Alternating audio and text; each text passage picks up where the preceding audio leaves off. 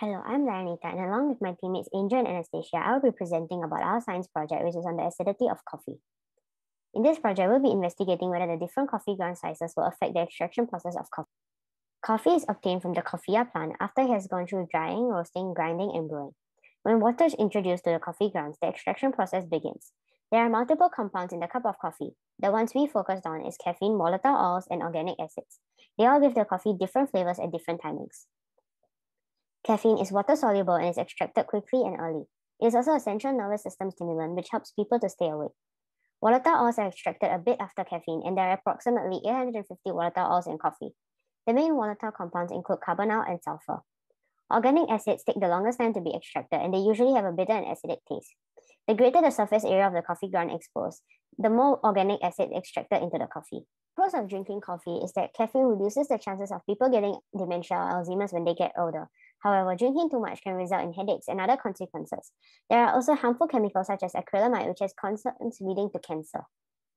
Through this experiment, we will discover how the coffee ground size affects the pH level of the coffees over time.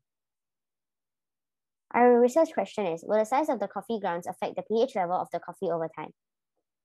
We hypothesize that the coarser the grounds, the lower the pH level, which means it is more acidic. Coarser grounds slow down the extraction process due to smaller surface area. Our independent variable is the different sizes of coffee grounds.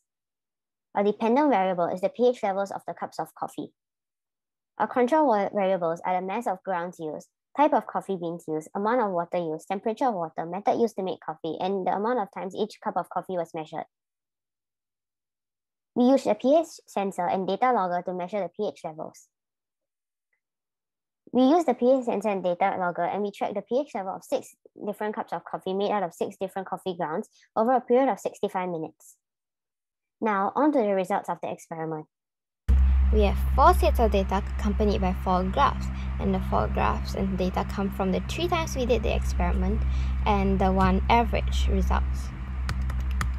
We will now be talking about the key findings and explanations for key findings. What we discovered is that Coffees made from coarse, medium coarse, and medium coffee grounds had a lower pH level compared to the medium, fine, fine, extra fine cups of coffee. This means that the coarser cups of coffee are more acidic than the finer cups of coffee. Acidity in coffee is represented by the pH level, which is the potential of hydrogen in the cup of coffee. Measuring the concentration of hydrogen ions gives us the pH level of the solution.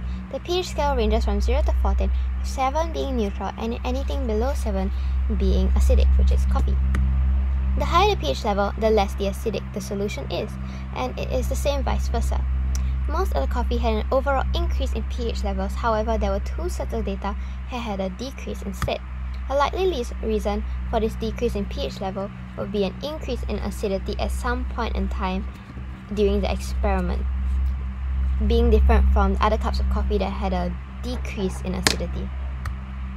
Evaluation of hypothesis was that our hypothesis was correct from a majority of the data we collected, seeing as coffee made from coarse coffee grounds had a lower pH level, making them more acidic compared to coffee made from finer coffee grounds. pH levels had an overall increase as time passed.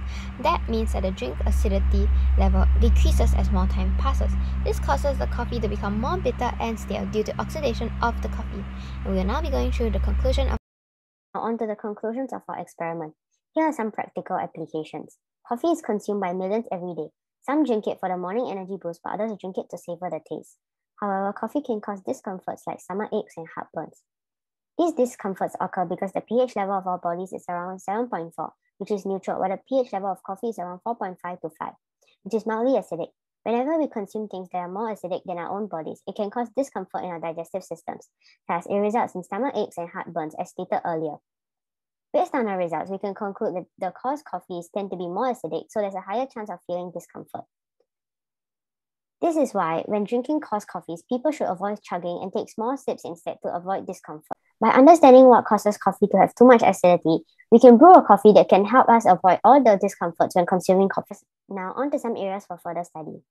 The first area for further study is that there were certain variables that had to be kept constant, but we had not taken into consideration that the environment would affect the results. The second area for further study is that we could have done more research on why the pH levels will increase and decrease over time. The third area for further study is that it will also be good if we could have found out how else the grind size of coffee beans can affect the coffee. Thank you for listening.